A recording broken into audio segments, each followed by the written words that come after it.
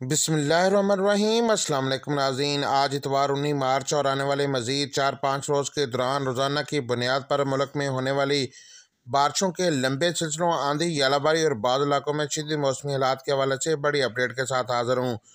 मौसम के हर अपडेट से बाखबर रहने के लिए चैनल को सब्सक्राइब और वीडियो को लाइक ज़रूर कर दें। बहुत शुक्रिया। ताज़ा तरीन रिपोर्ट के मुताबिक मगरबी हवाओं का ताकतवर सिलसिला आज से फिर शिदत अख्तियार करेगा, जिसकी वजह से आने वाले 24 घंटों के दौरान कश्मीर जी भी खैबर पख्तनखा के बेसला को पंजाब, सुबह सिंध और बलोचिस्तान के बहुत से इलाकों शुमाली वस्ती इलाकों में गरज में के साथ बारिश, तेज आंधी और बाद मकाम पर यलाबारी का इम्कान है। तफसीत के मुताबिक पंजाब के बेश इलाकों में मतला, अबर, अरूद रहने के अलावा मरी, रावलपिंडी, इस्लामाबाद, खिता, पटौर, अटक, चकवाल, जेलम खोशाह मियाँवली, सरगोदा, गुजरात, नारवाल, सियालकोट, लाहौर, डेरा गाजी खान बहावल नगर बहावरपुर मुल्तान और गिरदनवा में तेज आंधी और गरज चमक के साथ बारिश।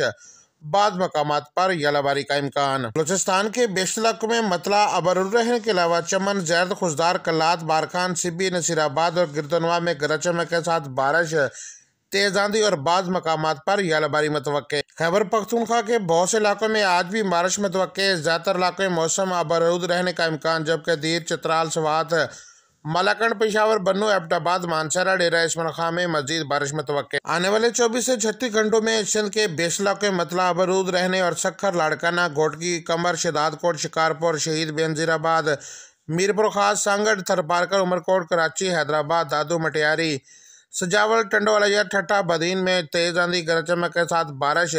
और बाद मका इलाकों में यालाबारी का इम्कान है। ताहम वेदर लवर्स आलमी मौसमियाती फैक्टर साजगार होने की वजह से मार्च के बकिया दिनों में दो सिलसिले मजीद बारिशों का सबब बनेंगे।